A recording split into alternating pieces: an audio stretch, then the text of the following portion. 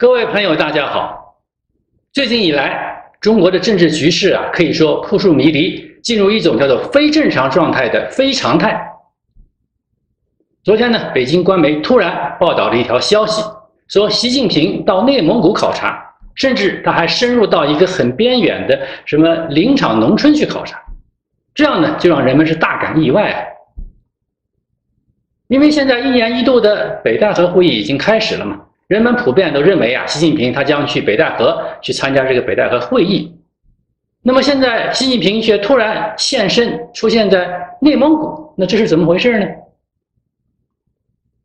那么首先我们就要问了，习近平为什么你要去内蒙古考察呢？因为习近平他要丢下手边那个日理万机的工作，他大老远跑到内蒙古这个边远农村去考察，你的目的是为了什么呢？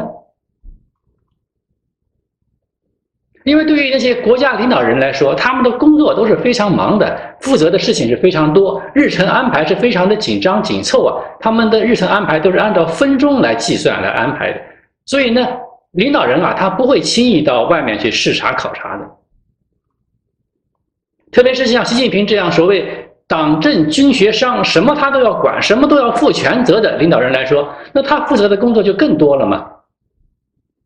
习近平不仅要听各种的汇报，处理各种的文件，还要出席会见外国人这些礼仪的事情。所以呢，习近平啊，应该比一般的国家领导人还要更忙一些。那对于习就是习近平来说，他工作这么忙，他要丢下手边的这些日理万机的工作，大老远跑到那个内蒙古的边远农村去，那肯定不是去旅游嘛，那肯定是有他的目的和打算的。那么，习近平此行的目的又是什么呢？关于习近平此行的目的，北京的官媒啊，只是做了几个非常短的几句话报道。他说，习近平此行的目的呀，呃，是了解生态文明建设、乡村振兴和民族团结等情况。那么，北京官媒说啊，就是说，习近平这次的目的仅仅是这些什么了解文明建设啊，什么。民族团结这样的问题啊，显然就是一个推脱之词，它绝对不应该是习近平这次的真正目的。比如我们看这个民族团结的问题，内蒙古的民族问题其实并不严重啊。如果你习近平真要考察这个民族团结问题，你就应该去现在这个风口浪尖上的新疆去考察嘛。你到内蒙古去考察什么民族团结问题，这不是开玩笑吗？所以说呢，习近平啊，他此行的目的肯定不是像官媒说的那样，他肯定是另有目的。那一般来说，国家领导人出去视察，往往就是一个发生什么自然灾害啊，他不得不去的事情。因为对于现代这个文明，说叫文明程度啊，你比较高的一些西方国家来说啊，发生了什么自然灾害之后，那国家领导人啊要去当地视察慰问，这个呢已经是一种惯例了。那美国如果发生什么自然灾害，那美国总统都要去当地视察慰问。比如说去年九月，川普总统啊就亲赴当时候美国发生这个飓风的这个灾害的这个现场去视察，并且啊他还上街给这些灾民是亲自发盒饭。那江泽民、朱镕基、胡锦涛、温家宝这些前领导人呢，他们也都曾经多次到那个灾区去视察去慰问。虽然有人说啊，这些人他们去灾区视察慰问，不过是一个表演、一个作秀而已。但你即使是一个表演作秀，他也是向这个现代文明国家的行为准则靠拢嘛。你总是比不去好。那习近平上台之后，虽然中国也不时发生各种各样的自然灾害，但是习近平啊，他就极少去灾区去视察慰问。以前呢，总理李克强啊，他还比较常去灾区视察慰问。但是自从呢这个二零一七年中共十九大，习近平这个定一尊之后呢，李克强就越来越少露面了，他就很少再去这个灾区啊去视察慰问了。因为在习近平定一尊的情况下，习近平如果他不去灾区慰问，那李克强去的话，那就会造成李克强就要抢习近平的风头啊，他就要抢习近平的威信，这么一个嫌疑他就有了嘛。所以呢。习近平不去这个灾区视察慰问的话，李克强也就不敢去了。最后一来，结果就是谁都不去慰问了。我们再回到上面的话题，就是既然内蒙古其实也没有发生什么自然灾害，那么习近平去内蒙古目的又是什么呢？如果说习近平现在正好工作比较清闲，国内外都没有出什么大事儿，那么习近平啊，趁着这个工作清闲之余，他外出考察一下，也兼是一个休假散心，这个倒也未尝不可。但问题是，现在习近平的工作真是那么清闲吗？国内外真的没有出什么大事儿吗？显然不是这样。最近可以说，中国这个国内外是大事频出啊！现在是最需要习近平留在北京拍板掌舵，他要对各种大事来做决策的时候。那么，习近平为什么突然在这个最需要他拍板掌舵的时候，他突然离开北京了？他也不去北戴河开会，而是跑到一个内蒙古这么一个风平浪静、根本没有发生什么事情的地方去视察呢？那唯一比较合理的解释啊，就是习近平这一次去内蒙古视察，就是为了躲避，就是为了躲过不去参加这一次的北戴河会议。且不说习近平想要躲过元老们对他的批评，即使是元老们不对习近平进行一个当面的批评，习近平啊也必须当面回答元老们对他提出的问题。就是说，元老们向他提出问题，就是对当前有几个亟待解决的重大事件，那习近平你有什么？对应措施和解决方案呢？因为习近平是作为国家领导人嘛，一个国家领导人，他对国内或者国际上发生的重大事件，他必须要拿出一个对应的方案或者是解决的方案来，这个是你国家领导人必须做的事情。这样一来的话，当那些元老们就是向习近平提问，就是你准备怎么样解决当前的几个极为重大的事件的时候呢？习近平就必须给元老们一个回答，他必须要拿一个答案出来。当前北京亟待解决的第一个重大事件就是香港。现在呢，香港问题不但没有平息，反而有继续扩大发酵的趋势。前两天，十四号星期天呢，香港又发生了严重的警民冲突。这一些事情都说明啊，现在的香港特首林郑月娥她根本没有平息香港问题的能力。所以呢，如果你赶快让林郑月娥辞职下台，其实是一个最好的选择。据外媒报道啊，林郑月娥她自己曾经几次向北京提出过要辞职，但是呢都没有获得北京的批准。北京就要求林郑月娥是继续干下去。虽然说林郑月娥她的特首办公室是否认了说林郑月娥曾经向北京提出过辞职，但是从各种迹象来看，林郑月娥提出辞职啊是一个比较合理的解释。因为林郑月娥她自己也感到啊，她自己没有这个能力来收拾这个烂摊子。既然她收拾不了这个烂摊子，那她将来的麻烦更大，还不如早点辞职啊，反而她的日子要好过一些。那么现在习近平又不让林郑月娥辞职，那他还有什么可以解决香港问题的对策或者方案呢？显然呢，习近平对这个香港问题啊，他是既没有对策，也没有解决的方案。所以呢，当这些元老们问习近平，就说香港问题你准备怎么办？准备怎么解决？那习近平如何回答呢？习近平必然就很难回答元老们对他提的这个香港问题，他就必然会非常的尴尬。所以呢，习近平为了避免他回答不了香港问题这个尴尬啊，他就躲开不去参加这一次北戴河会议啊。当然，对于他来说是一个最好的选择。当前北京亟待解决的第二个重大事件呢是台湾问题，因为习近平在今年年初啊发表了一个台湾问题讲话，提出一国两制统一两岸，结果呢就是让北京最不喜欢的那个民进党领导人蔡英文是咸鱼翻身。他不但支持率大增啊，而且他还获得了民进党二零二零年总统大选的候选人资格。那蔡英文获得这个二零二零年总统大选的这个候选人之后呢，北京啊就把这个翻盘的希望就寄托在红海集团前董事长郭台铭身上，他们就希望啊郭台铭能够在这个作为这个这一次的国民党的总统候选人啊。在二零二零年大选时候击败蔡英文当选台湾总统。那北京之所以期待这个郭台铭来击败蔡英文当选台湾总统啊，就是一个北京翻盘的机会呢。因为郭台铭啊，他在大陆有大笔的投资，有大笔的财产。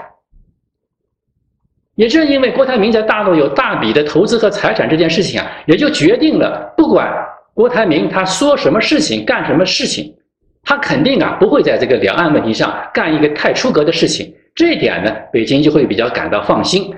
所以说，郭台铭啊，就是北京啊翻盘的一个唯一的一个筹码。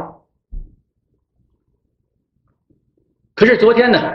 台湾的国民党总统候选人就出炉了，北京期待和盼望的这个郭台铭啊，他是落选了。高雄市市长韩国瑜啊，以压倒性的优势获胜。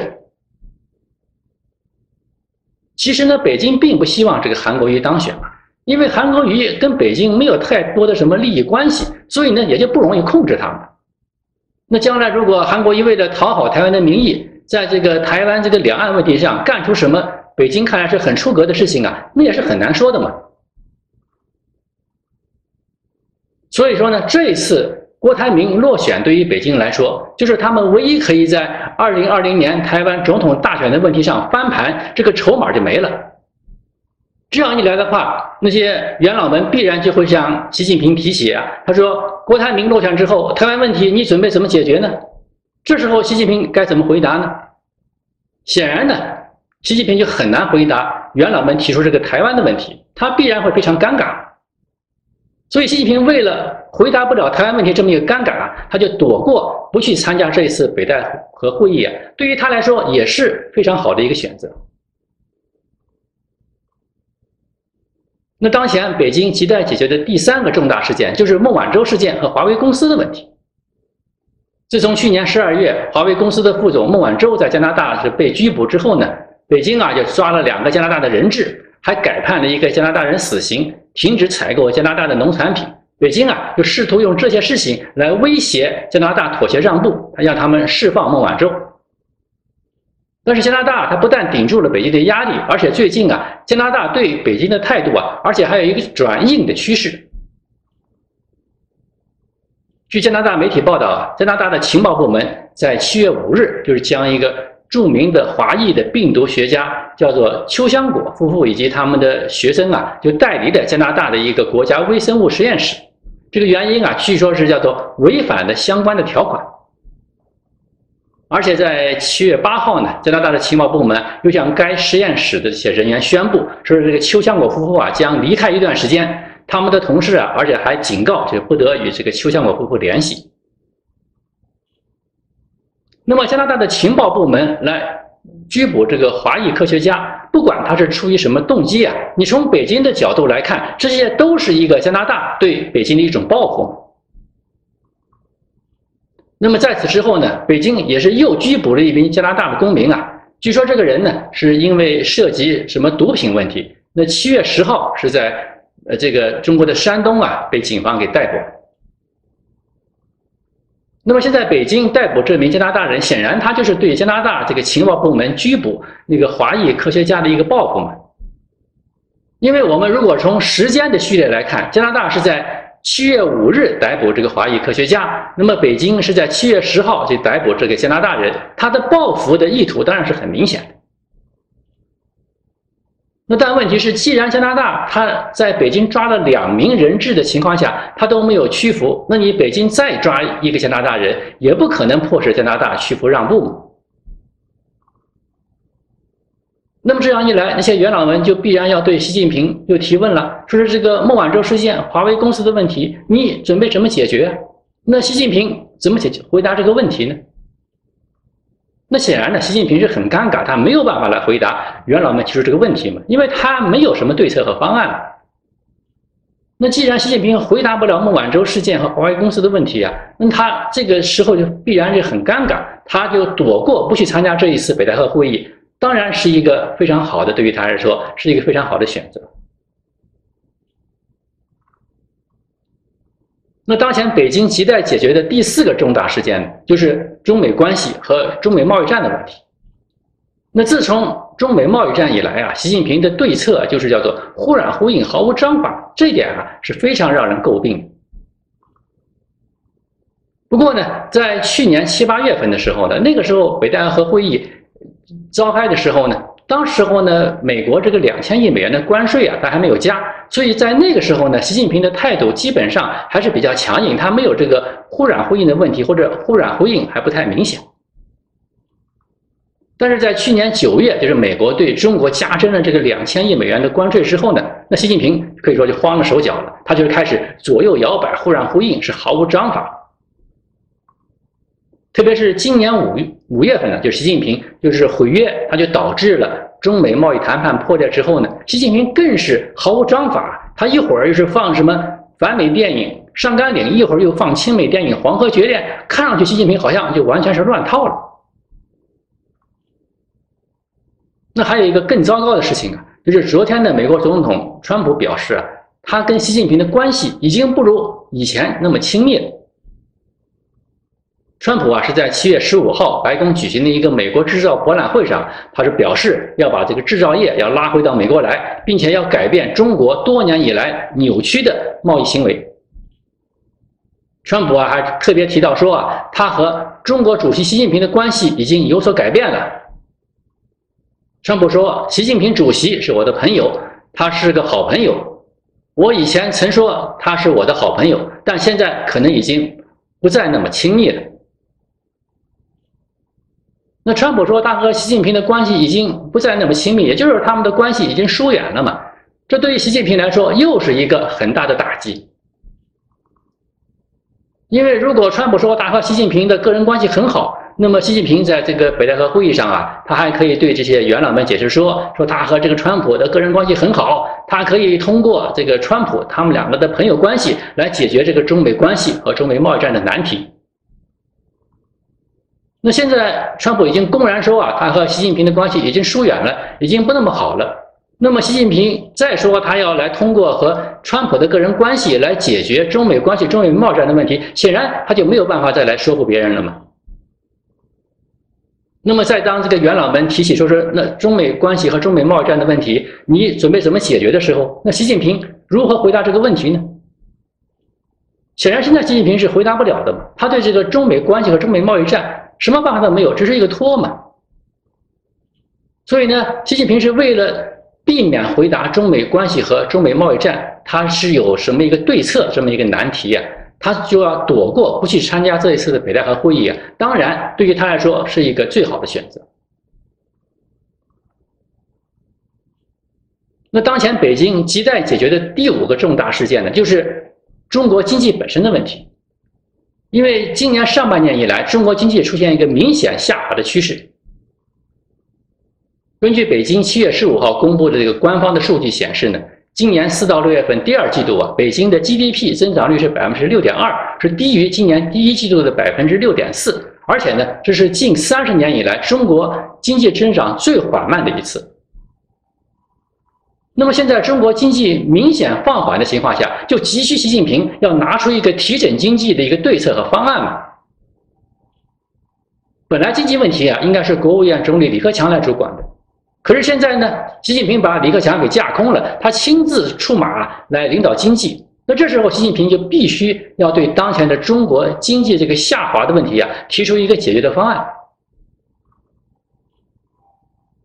过去，习近平提出解决经济问题的方案叫做“六个稳”，就是稳就业、稳金融、稳外贸、稳外资、稳投资、稳预期。那习近平的“六个稳”其实还是一个拖延战术，就是我什么都不变，什么都不改，就是要稳定啊。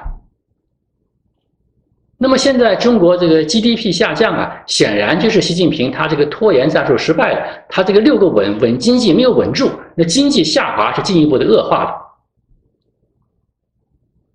那既然习近平的六个稳失败，那经济没有稳住，那么当中共元老们问习近平，就说你这个怎么样解决中国经济下滑的问题？那习近平准备怎么回答这个问题呢？显然，习近平他自己也不知道该怎么回答，他是没有解决方案的。那既然习近平拿不出解决经济问题的方案，也就回答不了元老们的提问嘛，他自然也就想到这次干脆我就躲过不去参加这次北戴河会议了。他。避免啊，这一次大家对他提问，他回答不了的尴尬。更重要的是啊，他还可以避免有人对他当面就是发难啊，让他下不了台。那本来这个北戴河会议是一个非正式的会议，并没有硬性规定说是中共的总书记必须要参加的。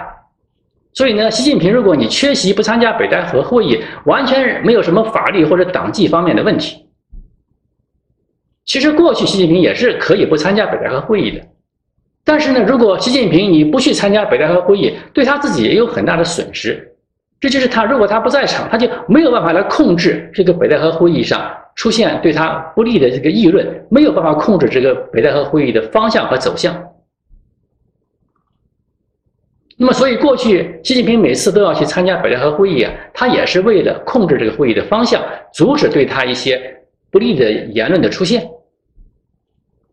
所以呢，在过去的情况下，那习近平去参加北戴河会议啊，是这个利大于弊。他不参加，反而是对他不利。但是呢，现在情况是变了。这次呢，习近平反而是很可能去不参加北戴河会议，反而对他是更有利的。所以这个时候呢，习近平就选择去内蒙古考察，他就躲开不去参加北戴河会议啊，就是一个可能性很大的一个大概率的事件。但是如果习近平不去参加这个北戴河会议呢？虽然他可以避免很多很尴尬的事情，但是呢，对他也是非常不利的。因为他如果不去北戴河会议，他就没有办法控制这个会议的走向，他更没有办法控制对他出现的一些不利的言论，甚至是批评的言论。那一旦习近平他如果不去北戴河会议啊，这个就意味着一个崭新的一个事态就出现了，就是呢，中共啊，今后它的政治局势就可能进入一种叫做强人已经控制不了的一种新事态、一种新局面。我们昨天看胡锡进发文，就公开要求啊，北京要放松言论自由的管制，这个其实就是针对习近平所说的嘛。那么这也可以说啊，是看成是一个中国啊将会出现一个新的政治局面的一个预兆，或者说一个先声。